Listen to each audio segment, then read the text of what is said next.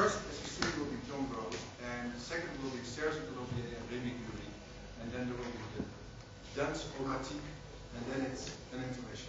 There will be short changes between the pieces because a lot of material has to be moved, and uh, so some patience, some time will be there for you.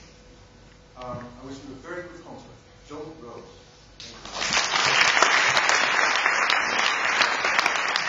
ありがとうございます。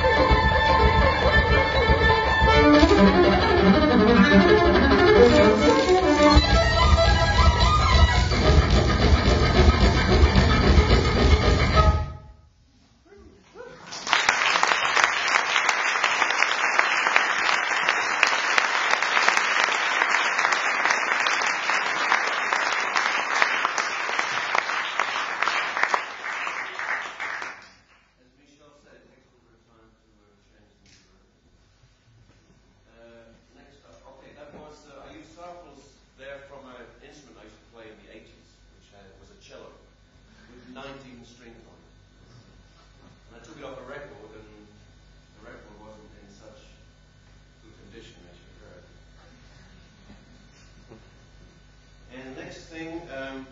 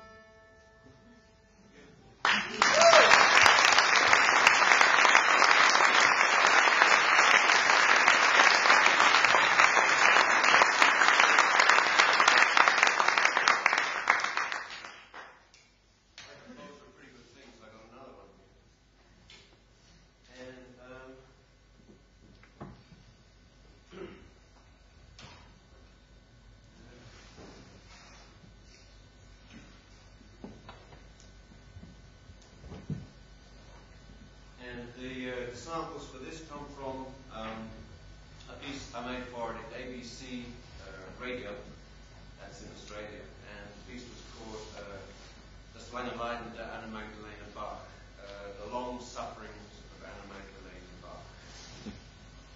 As you know, she had many, many